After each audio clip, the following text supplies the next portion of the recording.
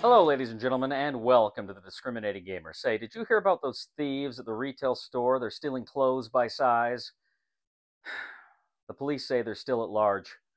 Ladies and gentlemen, today we're going to go ahead and take a look at my top 10 game store pet peeves.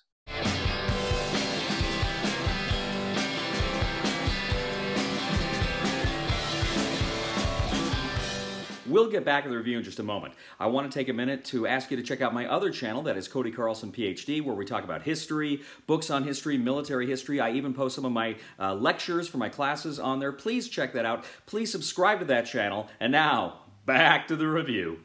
All right, ladies and gentlemen, so I'm going to talk about my uh, top 10 uh, pet peeves about uh, board game stores. You know, there's a lot of great board game stores out there, like Galaxy of Games in West Jordan, Utah. Check it out. But there are uh, many stores that suffer from one or, or, multiples of these. And I just want to briefly talk about it and uh, maybe express some of the things I just don't like in certain board game stores. Now, these things are not profound. I've actually have seen years ago, I've seen other uh, game channels do this, and they had many of the same things on here um, because they're universal and they're things we don't like. But these are my top 10 pet peeves about game stores. Uh, number 10 is I don't like a game store that has out of date information on its website.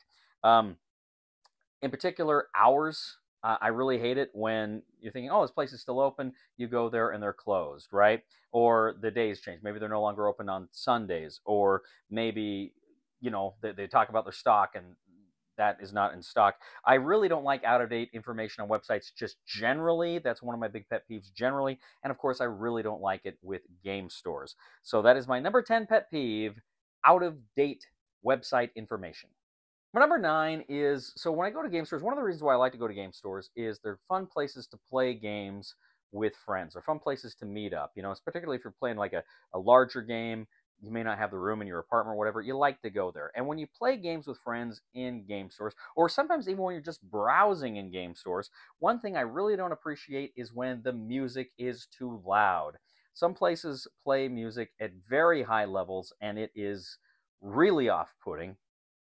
And I mean, like I say, you're playing a game with somebody, you need to be able to talk to them, to communicate to them. Now, you like music, you like a little bit, bit of background noise, that's fine, but sometimes places just play it way too loud. Maybe I'm just too old. I don't know. But uh, my number nine pet peeve for game stores is the music is just too loud.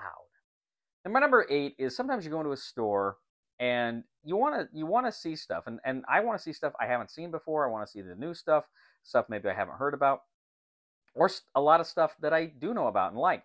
But I hate it when I go into a store and they just don't have the the uh, inventory. So poor selection, poor game selection there, right? I don't like that. Now I realize a lot of game stores they pretty much just exist for Magic the Gathering and for uh, other things. Um, they sell other things there. I get that. But I hate when you walk into a store that calls itself a game store and there's not a lot there. Like there's a lot of these game stores that pop up in malls and they you know, they're game stores, but you walk in there and they're pretty much all just party games. And then they say the strategy section, you see maybe Risk and Axis and Allies, but that's it. I'm not a big fan of that. I really, really don't like that. I really much prefer, um, you know, being able to, like I say, explore and, and, get lost for a minute, looking at all the titles and picking a game up and actually looking it over. I, I really like that. When I was in Rock Springs, there was a, a store there that had a um, it had a lot of toys, um, but there was it was a game store. It built itself as a game store, and they had games. It didn't look like they had updated their inventory in at least five or six years. And there were, you know, there were a few, like one or two new games, and then there were just all of these games that were very old. And um, that place actually changed management. And I went back again, and they still had a small selection, but at least it was a little more updated. So I just eh, I don't like poor game selections when I go to a game store. I want to see a lot of games and a lot of new games. So that is uh, number eight, poor game selection. My number seven pet peeve in a game store is sometimes you go to a store to play a game and there just either is not a big area to play a game, so it's very crowded, or the tables themselves are very, very small. So I guess uh, kind of a small play area is what I don't like. This is my number seven. Um, there was a place down in Texas that I used to play some games at sometime, and it was pretty good. But man, when it, when it got crowded, and it could get crowded, you were fighting for table space there, you know. And you know where I had like my cameras and stuff too, man, it was it could kind of be a nightmare sometimes. You like to be able to to kind of have some space to move around, to breathe in these places, and some places they just they just don't have a lot of table space.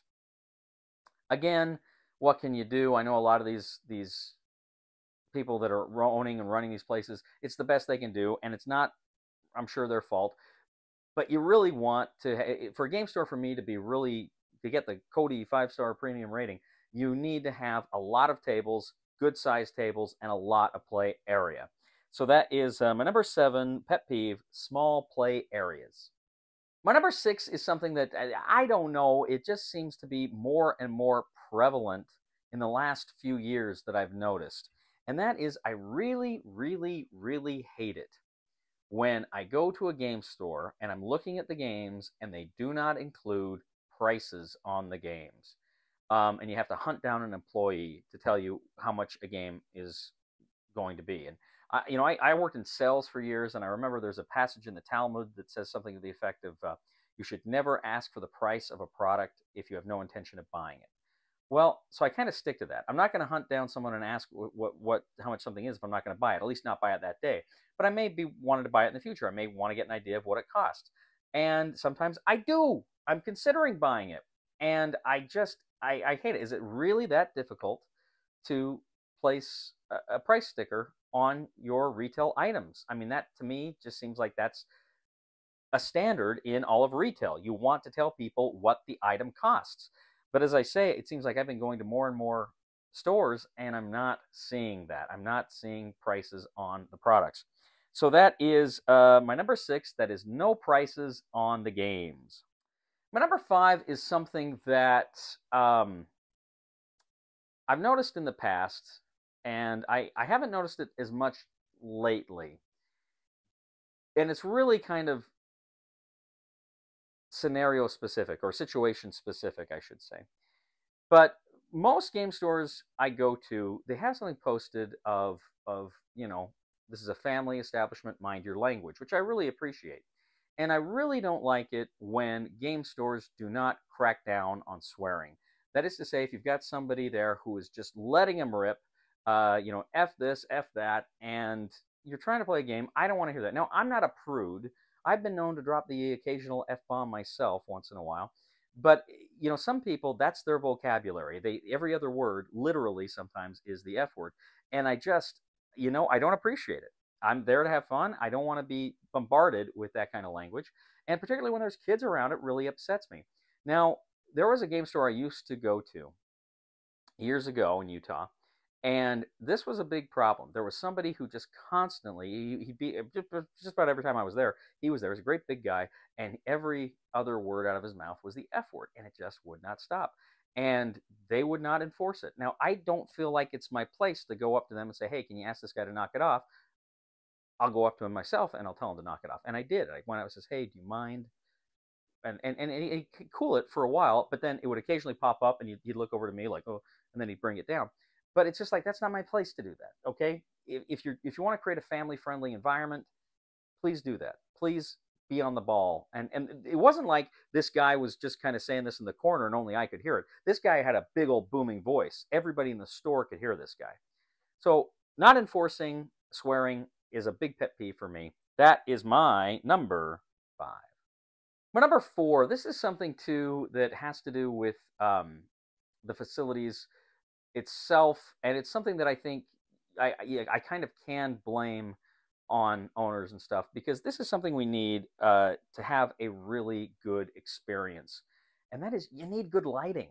If you walk into a game store and it's poorly lit, you know, especially as I get older and my eyes start going, uh, you need to be able to effectively see what you're playing. You need to be able to read that tiny text on those cards. You need bright lights. And, you know, I'm sorry, if, if you own a game shop and it's dimly lit, invest in some lights. If you want to encourage people to come there and play, please, please, please, bright lights. Now, again, most of the places I played at are well lit. Most of them have good lighting. Um, now, anyway. But I've, I've gone to places before that it was like, well, I might shop here, might, but I'm not going to play here, and I'm not going to spend a lot of time. Usually, when I play, I you know buy drinks and stuff like that. There, I'm not going to be doing that at, at, that location with the with the lighting. Um, but you need to be able to see the game. So that is my number four bad lighting. My number three pet peeve is I hate it, I hate it, I hate it when I go to a store, and I've seen this so often. And again, I don't know the circumstances of the store. I don't know what their business is like. But I hate going to a store where there is one overworked employee, where you've got a line of people lined up in front of that employee at the at the you know to, to, to pay for what they want. In the meantime, there's other stuff going on. His attention is needed elsewhere, and he's you can t- see they're scrambling. I've seen this the overworked employee, single employee, many times over the years, and I just I don't like it. If I need something, for instance, uh, I was at a store that didn't have prices on their games. And I, uh, you know, I, I wanted to just ask them, hey, you know, what's going on with the prices there? And I couldn't even get to them because there was like this big line of people in front of me and just one guy, the only guy there. Again, I don't know what the specific circumstances of a specific shop is, but man, if possible, more than one employee, that would be very helpful. So, one overworked employee, that is my number three. Um, sometimes there are just unfriendly, unhelpful staff. Um, being ignored. I hate that with a passion. When I walk into any store, ideally, I want to be greeted. I want to be said, "Oh, thank you for you know, thank you for stopping by," or "Can I help you with anything?" Um, that's kind of the norm, and that's you know, I work, when I was in high school, I worked retail, and that's just what I was taught. When you see someone, you say hello, even if you're busy. Just say hello, welcome. Just say something to let people know, you know, you're happy they're there. You, want their business. So uh, I really don't like that. And this one was hit home to me recently when I actually walked into a store here in uh, uh, Boise area.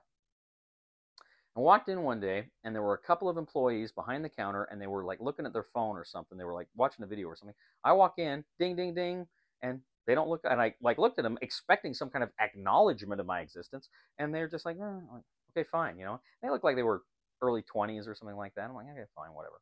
So I looked around the, the store and it looked pretty good. But I remember thinking, um, you know, if, if, if no one's going to talk to me, I'm certainly not going to buy anything. And I went in there thinking I was going to buy something. And uh, so I didn't. I left. Well, few weeks later, I decided, you know, I'm going to go. I'm going to go in. I'm going to give him another shot. So I went in again, opened the door, same thing. People behind the register talking, completely ignored me. I'm like, all right, whatever. I just looked around briefly because I was, I think I was looking for something specific. And one guy did come up to me eventually and he said, Oh, hey, is, can I help find anything? I said, Oh, no, thank you. So I appreciated that belatedly. But really, when you're walking in the door, there needs to be something there. That first impression counts, it matters. That's just good retail business, right? And I really don't like being ignored when I walk into a store. I'll be blunt, I don't like being ignored at all.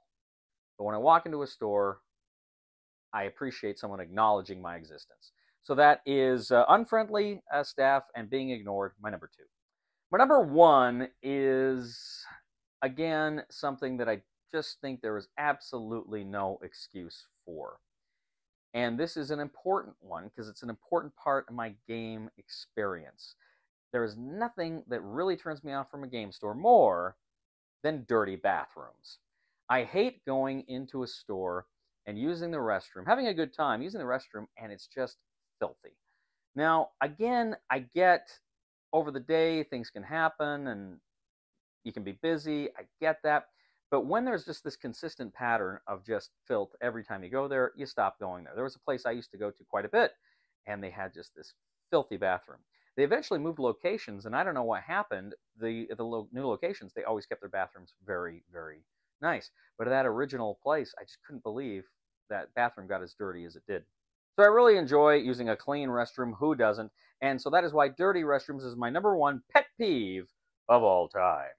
Well, ladies and gentlemen, that is my top 10 peeves for game stores. Let me know. What do you think? Are you uh, are there things you don't like about game stores, maybe that I missed, or is there something I said that you agree with or disagree with? Let me know. I'd be very happy to help. Uh, as always, please leave a comment here on YouTube, on Board Game Geek, on our Facebook page, or on the discriminatinggamer.com. Again, we'd ask you to like us on Facebook, subscribe to us on YouTube, and follow us on Twitter. I'd ask you to check out my other channel, Cody Carlson PhD, where we talk about military history, things like that. It would really mean a lot to me if you would subscribe to that channel. And also, I would ask you, ladies and gentlemen, to humbly Uh, if, if you uh, like what we do here, please click on the super thanks button and leave a tip. That would mean a lot to us. Say, did you hear about those crooks that robbed that calendar store? They got six months.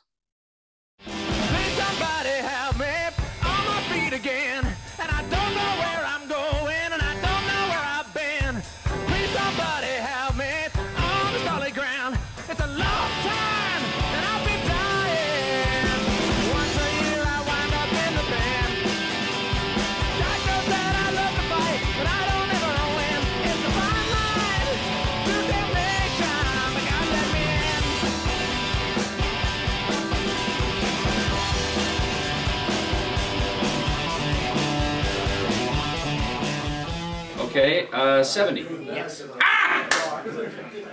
Mother Hubbard. That's it. He cut across there. He's on the boulevard somewhere. All right, go get him, George.